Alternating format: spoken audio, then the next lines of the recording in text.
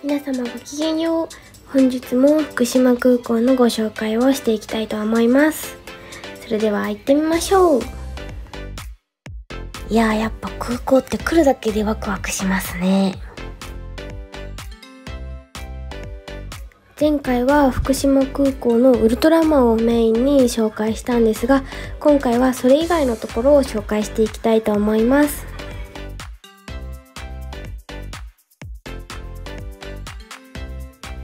入り口のところに福島空港のマップがあったのでそれもちょっと見ながらいろいろ回っていきたいと思います。まずはお昼時だったのでアーマテラスさんでお昼ご飯をいただこうと思います。こちらはキッズメニューもとっても豊富だったので家族連れの方にもとても人気なお店でした。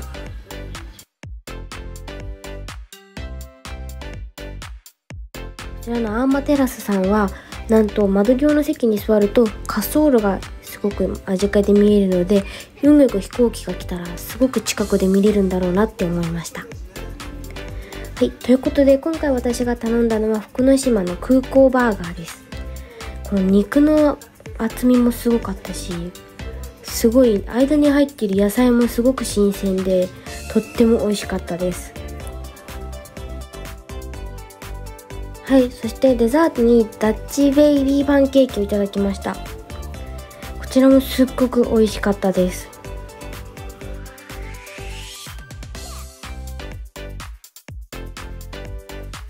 はいそしてですね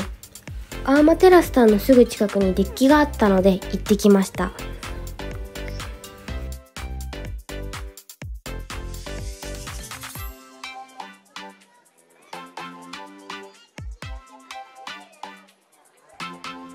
ちらのデッキからですね飛行機を間近で見ることができるっていう。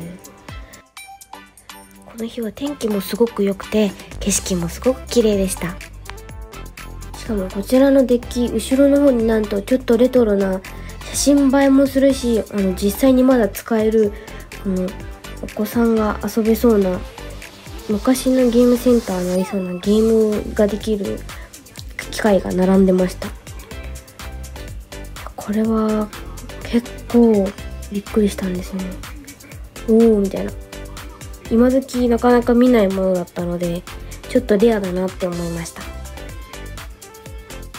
せっかくなのでちょっと乗ってみました。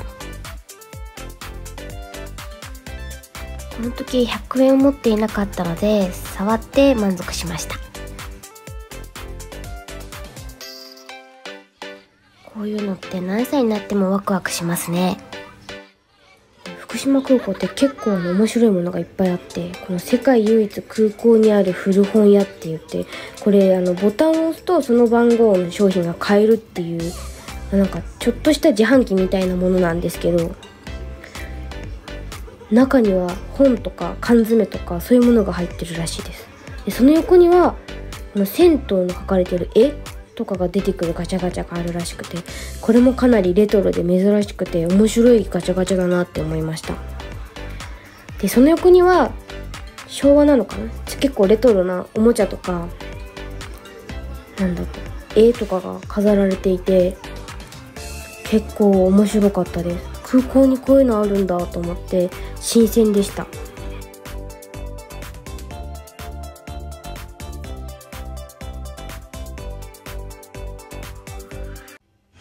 ちょっとそのデッキの方でぼーっと景色を眺めてたら本当に偶然飛行機が到着する時間だったらしくて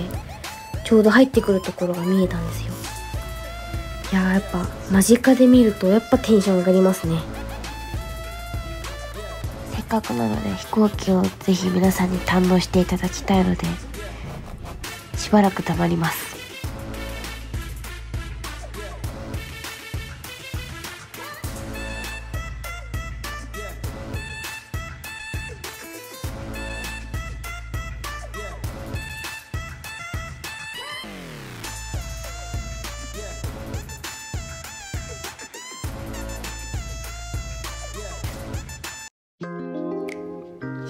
かなかこういうところまで近くで見れることって意外とないから面白いですねあの降りる道ってこういう風にくっつくんですねはいということで本日も最後までご視聴いただきありがとうございました。よかったらチャンネル登録、高評価よろしくお願いします。それではまたお会いしましょう。ありがとうございました。